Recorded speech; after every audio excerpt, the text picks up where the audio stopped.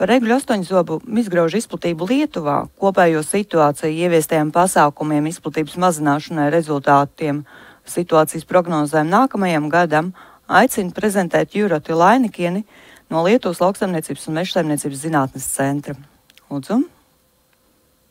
Hello for, for everyone. Um, I uh, uh, working uh, in Lithuanian Research Center for Agriculture and Forestry. And uh, my short presentation today is about the beetle situation in Lithuania and how we are planned to control the pest.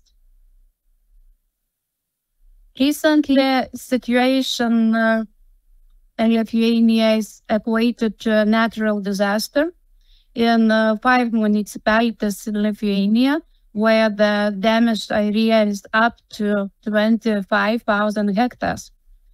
Um, we suppose that main triggers was warm winters, dry summers, decrease of groundwater level, increasing amount of squalls in our country, and uh, after that, higher amount of windbreaks, windfalls, and also weakened trees.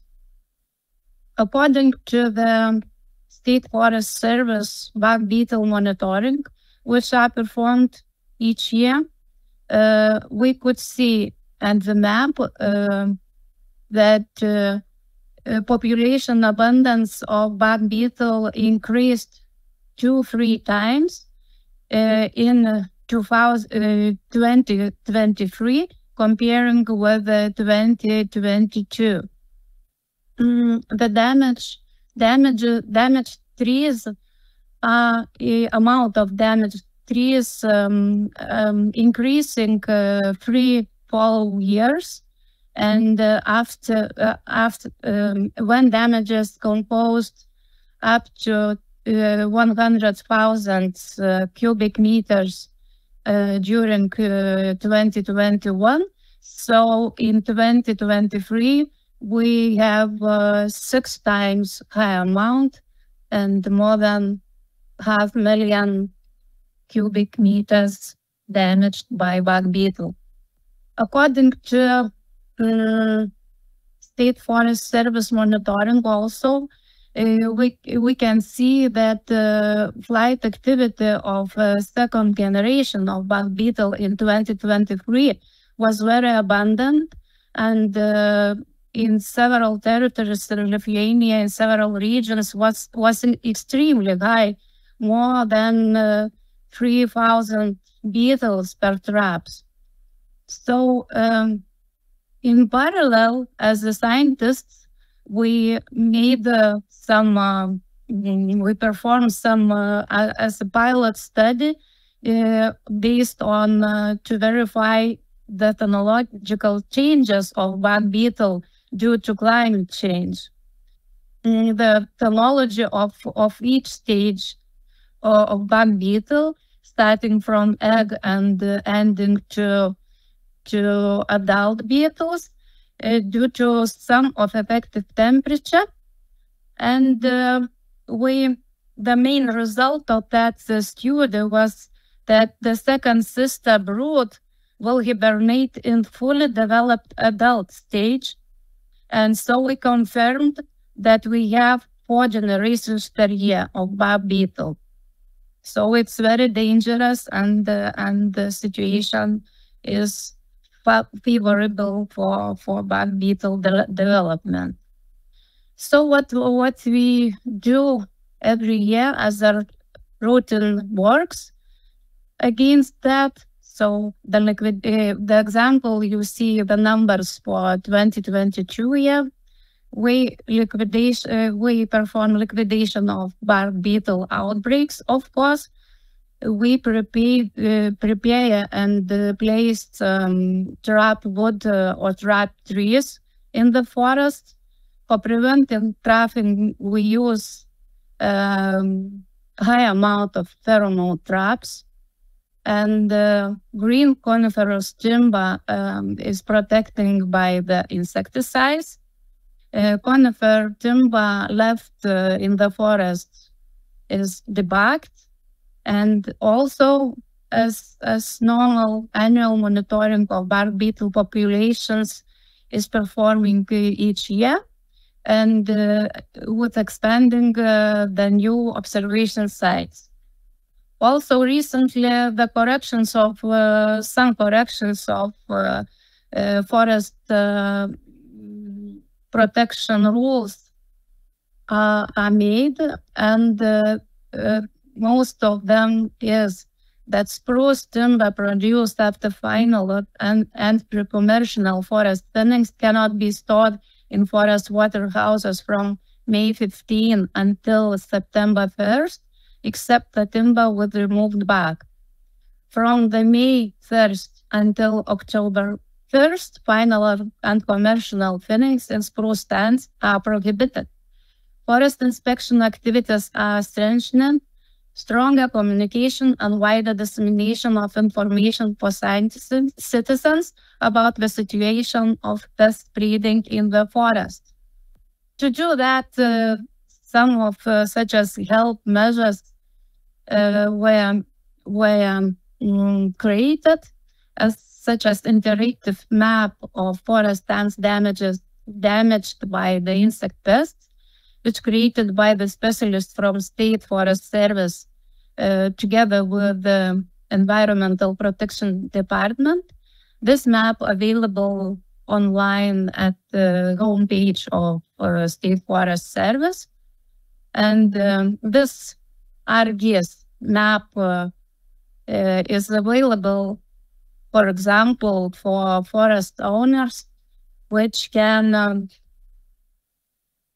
which can uh, check uh, their, their forest uh, sites connecting uh, with the personal cadastral number. And if uh, their forests are damaged, we Uh, should react accordingly. So this map, uh, you can see, um, uh, allow us active red dots show the new outbreak when detected. So um, blue points show that the message for forest owner have been sent by uh, state forest service specialist about the state uh, sanitary state of their forest stand. Also, yellow points shows that the territories there such measures performing and um, orange dots shows that outbreak out, outbreak was eliminated or this is an old one outbreak. So and the uh, State Forest Service kindly ask everyone to monitor actively the condition of the forest and, and inform uh, they about the new pest outbreaks. So such uh, this tool is help for us to monitor situation. Also, um, uh, mm, pink areas on the map indicating uh, mm, the territories with, with the natural disaster situation now. So predicted situation for 2024. The risk of bark beetle spread in spruce stands is very high. The outbreak areas and the number of damaged spruces will increase. Uh, this situation is uh, very, very dangerous and uh, showing that uh, bark beetle um, population abundance is on high level. And uh, also, uh, we should say that uh, the last wind event was registered in October with year, with year and damage area was about uh, 500 hectares with 70,000 cubic meters of broken and fallen trees and wind damages already range in um, about quarter of uh, this territory. So high number of timber still left in the forest, broken timber. And also due to warm autumn, uh, especially in September, second sister brood of bark beetle fully developed to adults that will lead to its successful hibernation. So situation is favorable to spread uh, successfully bug beetles in 2024. Does ongoing winter will help us? Never know. Thank you very much. Paldies, Lainikens kundzei. Man jums ir divi jautājumi. Pirmais ir par ķeramkoku metodi. Kā tā tiek organizēta Lietuvā, kas to dara, vai arī privātie meža īpašnieki tiek iesaistīti, vai ir jābūt uh, valsts institūcijas apstiprinājumam šīs darbības veikšanai, un kādi panākumi jums ir ar šīs metodas izmantošanu?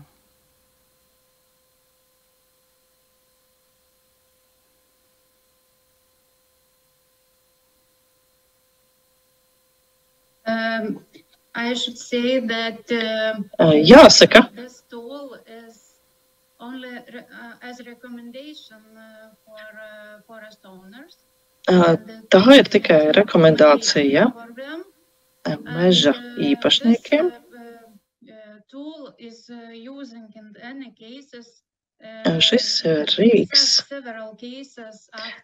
tiek izmantots vairākos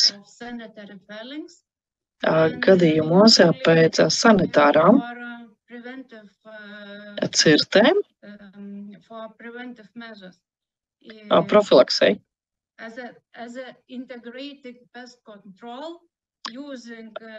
Kā integrēta kaitēkļu kontrole tiek izmantota feromonu slāzdi un arī ķeram koki.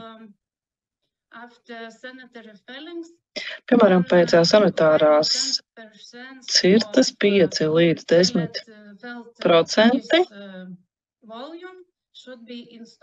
apjoma būtu jānovieto netālu no. Uh, Pieci koki tiek izmantoti šādās grupās mežā. Uh, Runājot par šīs metodes panākumiem, vēl ir grūti teikt, jo um, vairošanās, izgrauža, vairošanās um, ir plaša, bojājumi, radītie bojājumi arī ir lieli, ļoti grūti vēl secināt par šīs metodes uh, veiksmīgumu.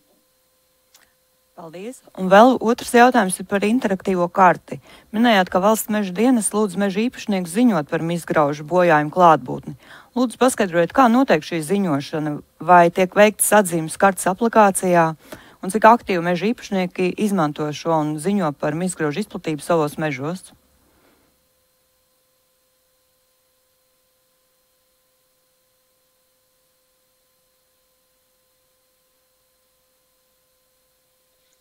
Okay, uh, uh, the first step. Uh, Pirmais solis ir, kā meža īpašnieki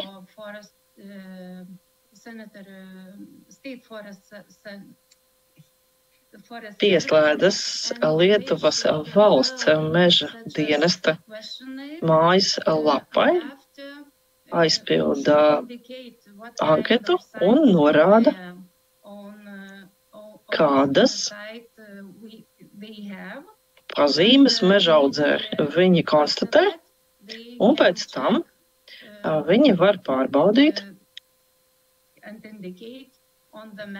un norādīt uz kartes šo te lokāciju vai teritoriju vai platību. Vai arī valsts meža dienestu informē par, tātad valsts meža dienests informē par nepieciešamiem pasākumiem, kas meža īpašniekiem būtu jāveic. Piemēram, organizēt um, šo te um, izgrauža izplatības moni, um, kontroli. Paldies! Jums par prezentāciju paldies par atbildēm uz jautājumiem. Un pēc neilga laika tiksimies ar jums ā, diskusijā.